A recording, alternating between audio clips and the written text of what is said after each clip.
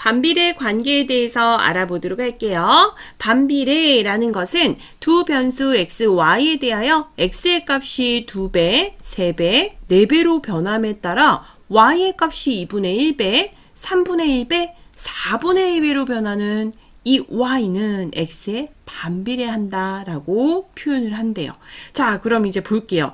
정비례했을 때를 생각해 본다면 이 두 변수 x랑 y의 관계에 대해서 즉 x의 값이 2배, 3배, 4배의 변함에 따라서 y의 값도 2배, 3배, 4배가 됐잖아요. 근데 반비례는 2분의 1배, 3분의 1배, 4분의 1배로 변한다 라고 표현을 했습니다.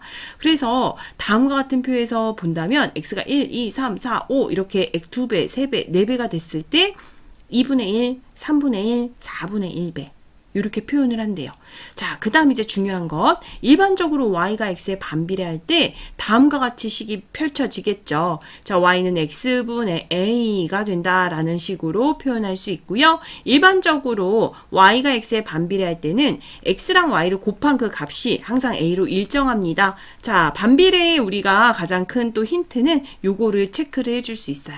둘을 곱했을 때, 두 x랑 y의 변수를 곱했을 때 일정한 a가 나온다. 라는 식이 나온다면 반비례 식이래요. 자, 반비례 식을 구체적으로 한번 살펴볼까요? 예를 들어서 이런 경우에요. 귤 24개를 x명에게 y개씩 똑같이 나누어 줄 때 이 x와 y 사이의 관계를 표로 나타낸다면 자, 전체 24개라는 개수가 정해져 있죠. 근데 x명에게 y개씩 나누어 준대요. 그럼 만약에 한 명에게 나누어 줄 때는 귤 24개 다 줄 수 있겠죠.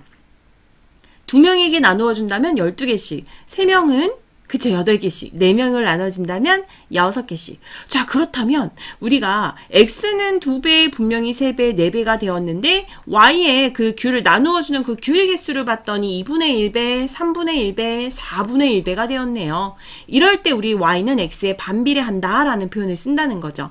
그리고 그 특징, 이 둘을 곱했을 때 항상 일정한 24라는 수가 나오겠죠? 그래서 x와 y 사이의 관계식은 y는 x분의 예를 들어 24라고 했다면 있다면 x랑 y를 곱하면 항상 24로 일정합니다. 라는 것도 체크할 수 있어요. 그래서 우리가 정비례에 이어서 반비례 관계를 살펴보았다. 라는 것 이해해 주시면 돼요.